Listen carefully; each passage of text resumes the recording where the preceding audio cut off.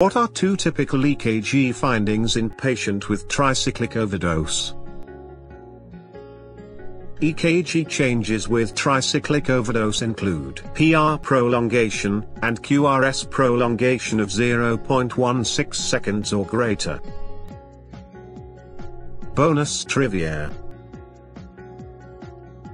The pulmonary vein is the only vein in the human body that carries oxygenated blood. FlashMed, video flashcards.